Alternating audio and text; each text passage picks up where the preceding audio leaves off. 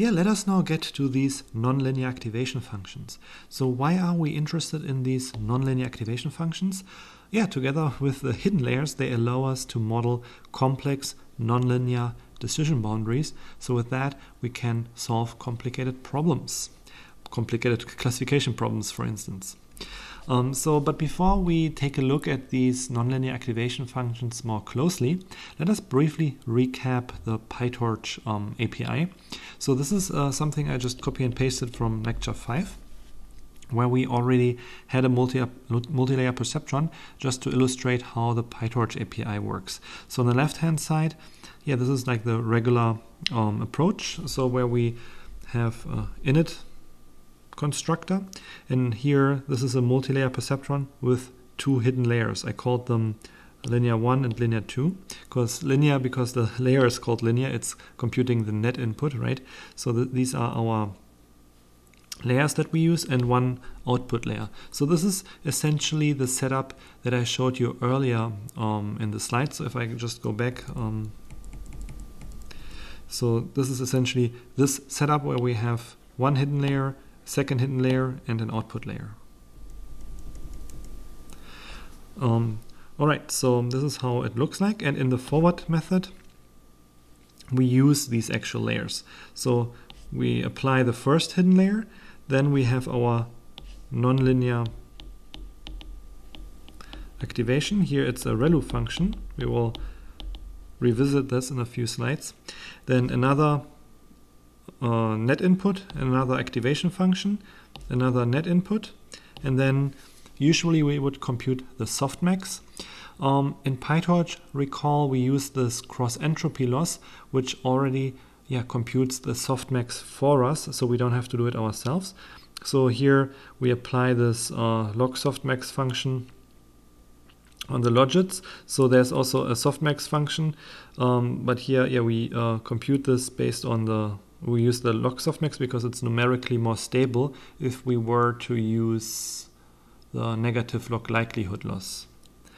Um, this is really though only if we want to use the negative log likelihood loss. Um, otherwise, we would just use softmax if we are interested in the probabilities. To be honest, now looking at this, I don't know why I used log softmax. I think in the big code example, when I uh, created lecture 5, I had um, the negative log likelihood here.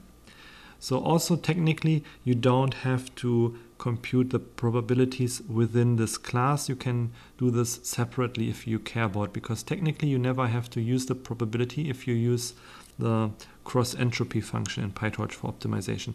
But again, this will become more clear when we look at the concrete code example in the next video.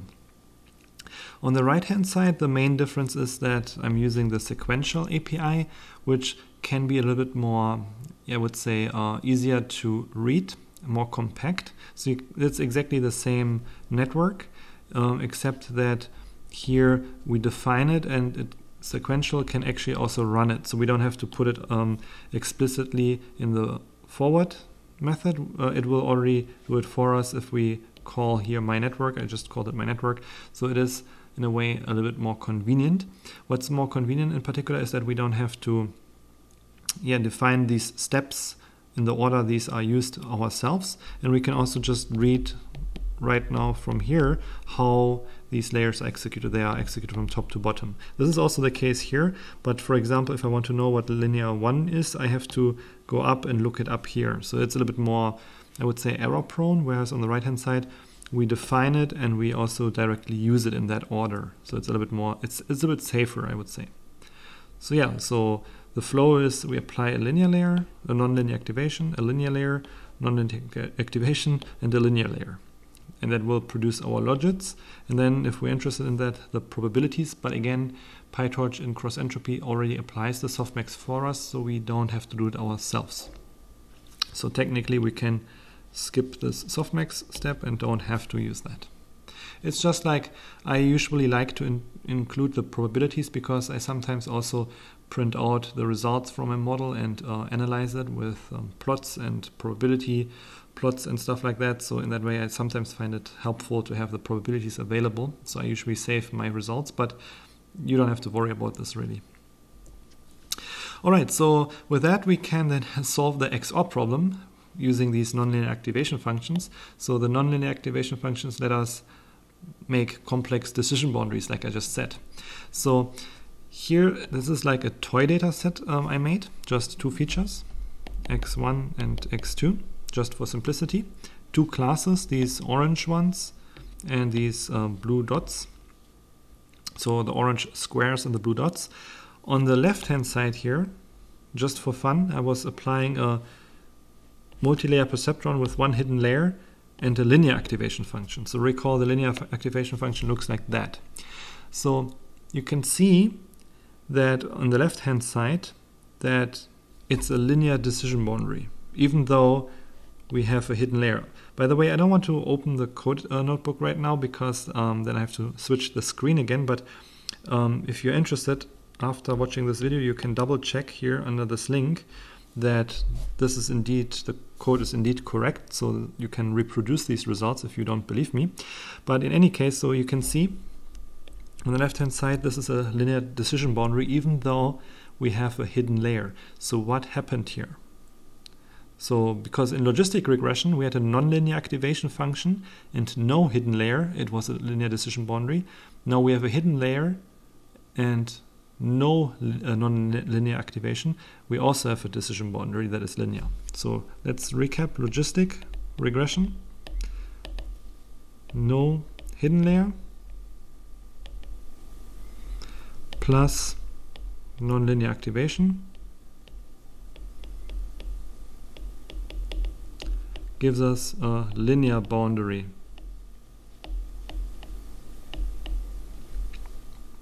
MLP with um, with linear activation plus hidden layer also linear boundary. So from that we can deduce neither the hidden layer, which we have in the multi-layer perceptron, nor the nonlinear activation function alone are sufficient for making a nonlinear decision boundary. They are necessary, but they are not sufficient for making a nonlinear decision boundary. In fact, we need both. We need both the hidden layers and the nonlinear activation functions to make a nonlinear decision boundary. So on the right hand side, I have now the same multi-layer perceptron with one hidden layer, the same number of weights. The only difference is that I'm now using a nonlinear activation function. Here I'm using the ReLU function. And you remember, this is um, yeah, very simple. It's actually just thresholded at zero. So if the input is negative, the output is zero. Otherwise, it's an identity function. So it's almost an identity function, but not quite. And this is sufficient together with the hidden layers to make a nonlinear decision boundary. You can see this decision boundary is now nonlinear. You can see it's solving this XOR problem. So it can now classify these data points correctly. So why is this working and why is this not working? So why is the linear decision, um, uh, linear activation function not sufficient and produces a linear um, decision region? That's because if you think about it, even though we have a hidden layer, if we have a linear activation function, what happens is that we have essentially a combination of multiple linear functions, and the combination of multiple linear functions is still a linear function. So if we don't use nonlinear activation functions, then we don't really gain anything by using a hidden layer. So we need actually both hidden layers and nonlinear activation functions to produce these yeah, complex decision boundaries. Actually, there are way more than just ReLU functions. ReLU just happens to be popular because it's it's quite simple and quite fast to compute and has also some other nice properties which I will also briefly talk about um, in a few minutes. So, but yeah, traditionally these are also yeah one of the most um, popular activation functions in multi-layer perceptrons. With that I mean the logistic sigmoid that we already encountered in the context of logistic regression. So back in the day, I would say even the sigmoid was maybe the most popular activation function in multi-layer perceptrons. But again, it has this problem that these gradients saturate here. Another very popular activation function for a while was the tanh function. It's also a sigmoidal, so both are sigmoidal functions. It's also a sigmoidal function, so S-shaped. Um, but this uh, hyperbolic tangent function looks a little bit different. So you can see this one, uh, the logistic sigmoid function, is centered around 0 and the output is 0.5, whereas this one is centered at 0 and the output uh, at 0 is also 0. So it's producing positive and negative values, which can be an advantage. There's also a hard tanh, which is essentially very similar to tanh, except that uh, it's thresholded here similar to ReLU. So what is the advantage of, let's say, the tanh over the sigmoid activation? So the advantage of tanh is really like that we have this centering at uh, zero, so that we have positive and negative values. And you can also see it's uh, steeper. So here the it's steeper than this one, so we have larger gradients. It has also a very simple derivative, 1 minus tanh. Recall for the logistic sigmoid, the derivative was um, like this. So itself times 1 minus itself. So the derivative is slightly um, smaller because it's uh, yeah multiplying two numbers smaller than um, 1 with each other. So whereas here you have 1 minus this one. Um, but then yeah, you have also the squared here. So it's actually not that different. okay, um, yes, so but both have the problem that if you make a wrong prediction, it's both if you make a right or wrong prediction, but in both cases, you here and here, so you saturate it. So that, that can be a problem if you make a wrong prediction, you end up with a very small partial derivative with with respect to its well, derivative with respect to its input, and then when you compute the partial derivatives uh, in the chain rule, then yeah, you will get very small gradients, and the learning will be very slow, which can be a disadvantage. Uh, maybe one more thing about why it's good to have um, negative and positive values. That just gives you more combinations. So imagine you initialize your weights from let's say a small, uh, from a random normal distribution standard normal distribution, let's say, or a scaled standard normal distribution. So you initialize your weights such that they are centered at zero. So you can have positive and negative starting weights.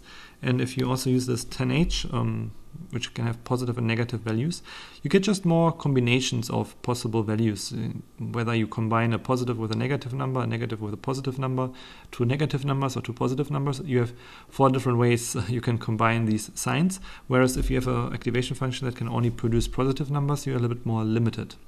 So uh, I would say that tanh is a little bit more expressive. It allows you a little bit more, yeah, expressive expressivity, if that's a word. Um, but yeah, I think also in practice, when I use them, when I recall, I only saw a minor difference using one over the other. Really, if you use a ReLU function, that gives you a better bang for the buck, usually. So yeah, here are some more nonlinear activation functions, including the ReLU function. So the ReLU function here, um, that's something you have seen before. It's, I would say, still the most widely used activation function in um, deep learning. I think it's maybe 10 years old by now, something like that. But uh, when you look at um, recent papers, people still use uh, ReLU a lot. It has really nice properties. It's um, simple to compute, really, and you have always, uh, yeah, large derivative. The derivative is one. So if you use the chain rule and your derivative is one, if the inputs are positive, then yeah, you don't diminish the product in the um, rule. Okay, but it can also be uh, zero, which can be a problem. So if you have negative inputs to this activation function, your um, your output would be zero, which will then basically cancel the weight update for that uh, corresponding weight corresponding to this activation or connected to this activation. So um, that can be a problem if you always have very negative inputs. So there is a problem called dying neurons or dead ReLUs. That happens usually when you have uh, somehow updated the weights such that you will never come into the positive region anymore. And then, yeah, you will never be able to update your weights again because the derivative will always be zero. That can be a problem. However, in practice, some people argue it can also be an advantage because it can help with pruning, uh, let's say, unnecessary neurons. Like if you have an excessive number of neurons, this way you can get rid of some of them and it may help with preventing overfitting. Uh, a version of ReLU that some people find to perform sometimes a little bit better is the leaky ReLU, which doesn't have the problem of these dying neurons. So here the difference is that we have, so if we look at the simplified notation, the um, the piecewise linear function here, um, what you can see here, uh, or the piecewise function, sorry, what you can see here is that the only difference is that we have now this alpha here, which is the slope if the input is smaller than zero. So for the negative region here, we have now a slope. What value we can choose for the slope? It's a hyperparameter, right? So hyper parameters is something that you as the practitioner have has to choose. So there's no way you let's say can know what's a good value if it's a hyperparameter. It's um, something you have to try out in practice and change and see what performs better. I have seen all kinds of values for this um, negative slope here or for the slope in the negative region. So in Keras, that's a API for TensorFlow. I believe they use 0.3 as the default value. In PyTorch, I don't know exactly the default. I usually specify it myself. I usually use something like 0.1 or 0.01. But yeah, there are different values that work well for different problems. In practice, you will only see a slight small difference. So it's not something if your network, let's say, doesn't perform very well, then choosing a different value here probably won't make a big difference. So you have probably bigger problems to fix. But it can give you maybe one, two, three percentage points in terms of accuracy if you are lucky. Um, I said uh, hyperparameters cannot be like automatically learned from gradient descent. However, people designed a parameterized version of uh, the leaky ReLU. It's called PReLU, parameterized uh, ReLU basically.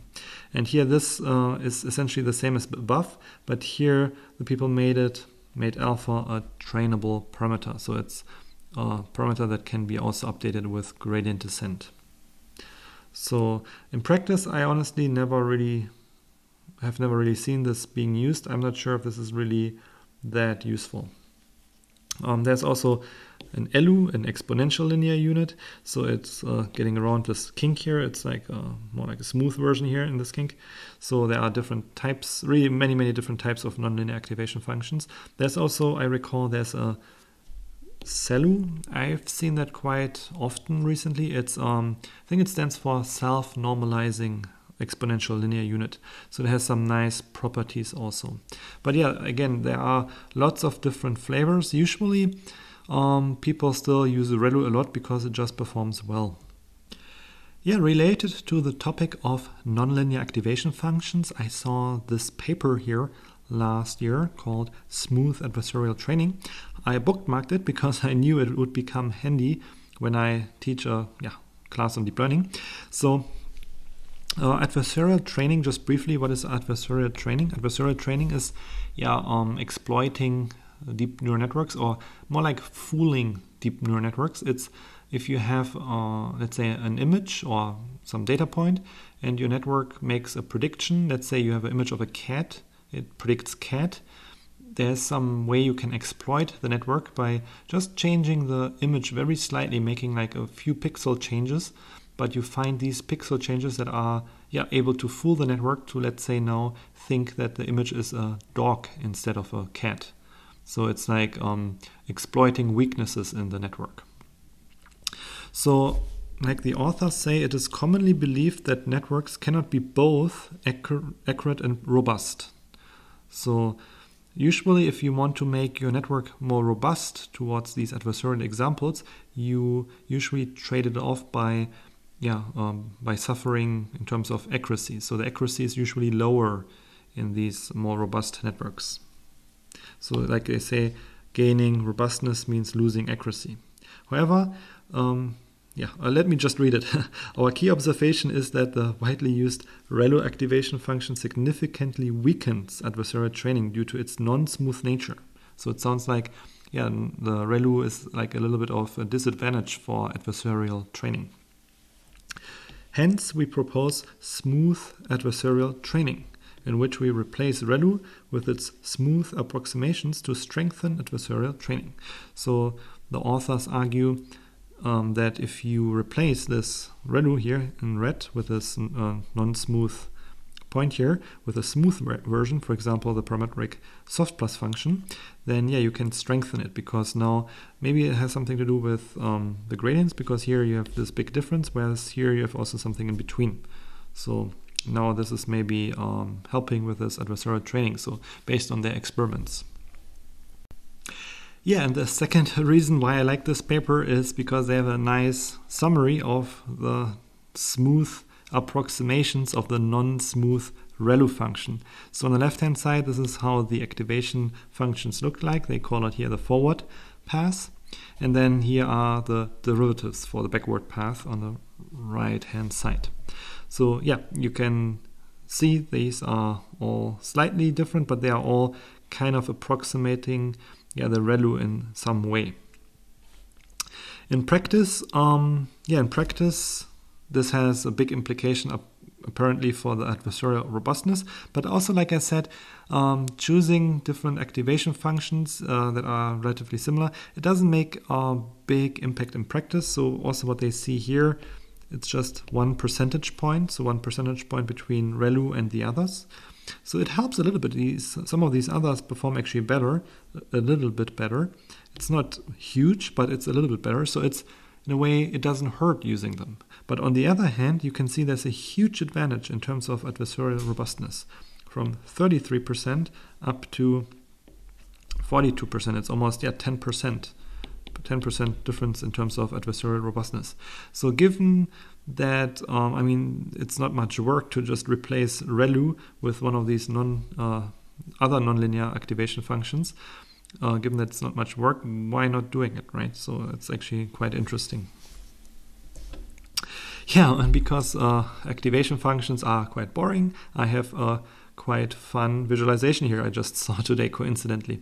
So that's these uh, dance moves of deep learning activation functions. With that I want to end this video and then in the next video we will talk a little bit more about multi-layer perceptrons and in particular coding it up in PyTorch and training it.